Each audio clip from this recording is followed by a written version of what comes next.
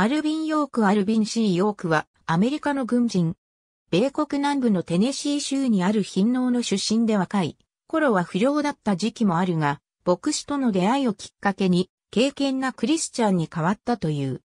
1914年に勃発した第一次世界大戦により27歳の時に軍に徴兵されてヨーロッパの戦線へ送られた。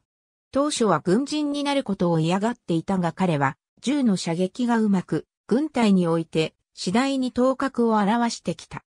そして1918年10月8日にフランスのアルゴンヌにおける戦闘で自軍の10倍以上もの勢力があるドイツ軍を相手に戦って大勝利を収めることになる。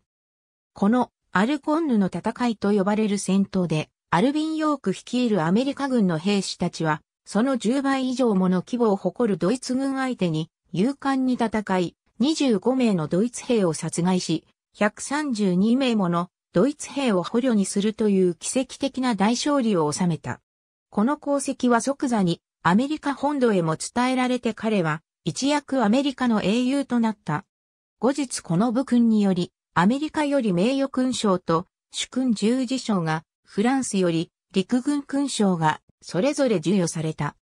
戦後、アメリカへ帰国後しばらくの間は講演をするなどして生計を立てていたが、その後は故郷へ戻り地元の農業発展に色々と貢献した。1964年9月2日にナッシュビルの病院にて76歳で死去。彼のアルゴンヌにおける戦闘は、その後1941年にゲイリー・クーパーの主演で映画化された。この映画の詳細は映画ヨーク軍曹を参照のこと。ありがとうございます。